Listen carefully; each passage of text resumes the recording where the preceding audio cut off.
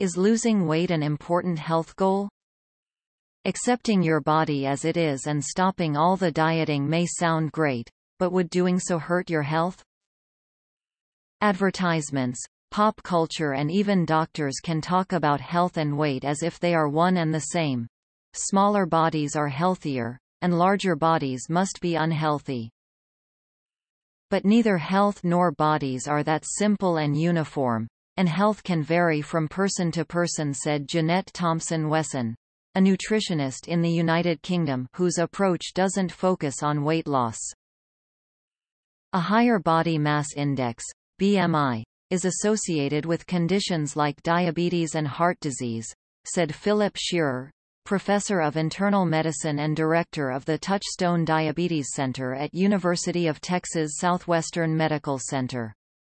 However, BMI is a controversial way to measure health, and it's just one of many factors associated with changes in a person's well-being, said Dr. Asher Larmie, a UK-based general practitioner and activist. Medical care, environment, social circumstances and biology make up the majority of the factors that determine our health. According to the Office of Disease Prevention and Health Promotion's Healthy People 2020. Still, we often place a lot of importance on a person's appearance when assessing their health, said Shana Minei Spence, a registered dietitian in New York. And even if we learn to shed the burden of societal beauty standards, it can be difficult to feel confident in your body if you view your size as unhealthy. Experts say that it may be time to untangle health and weight and focus more on behaviors that promote our health than the number on the scale. It's important to understand that the studies that point to terrible health outcomes for people with higher body fat can only point to correlation, not causation, Larmie said. While studies can say that people at a higher weight often have more instances of heart disease, they can't say that the weight caused the heart problems, Larmie added. But the importance of those studies shouldn't be discounted, Scherer said. The correlations are strong, and, from a physiology perspective, in the clinic we work with correlations, he said. Other factors could still be at play, however, like access to medical care, Scherer said. And for people in larger bodies, good medical care can be hard to come by, said Bri Campos, a body image coach based in Paramus, New Jersey. It's not just her clients who fear going to the doctor. Even though she educates people about their body image and mental health, Campos is often afraid to go to the doctor for fear that she will be shamed about her weight, she said. I can go in for strep throat. I can go in for a rash, Campos said. Because of my body size, it is very unlikely that I can go to the doctor and get an actual diagnosis that's not, you should probably lose weight. Spence likes to remind her clients, bodies aren't business cards. We can't take one look at a person's body and get a sense of their health, their habits or their biology, she said. Do we have access to somebody's medical records? Are we talking to their doctor? She said and often health is honestly sometimes out of our control. There are so many chronic illnesses that people just develop.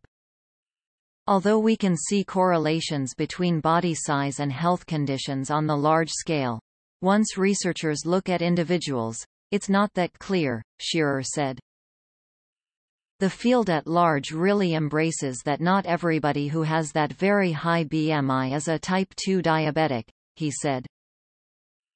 People in smaller bodies can develop heart disease or diabetes, and there are plenty of people in larger bodies who are considered completely metabolically healthy, Scherer said. It's just a reflection of our genetic heterogeneity and how we cope with excess calories, he added. What does it mean to be healthy anyway? And can dieting help you get there? That depends on what parts of health you prioritize. Health is comprised of many factors.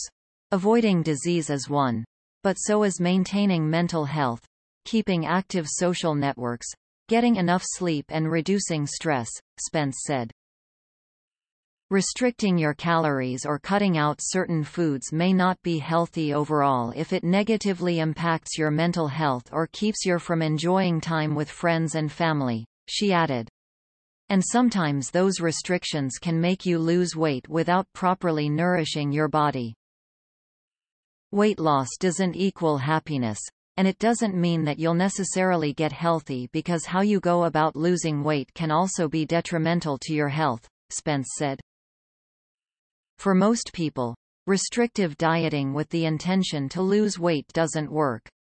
More than 80% of people who lost weight regained it within five years, according to a 2018 study.